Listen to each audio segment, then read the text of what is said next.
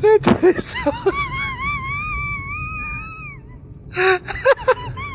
I threw myself at the massage.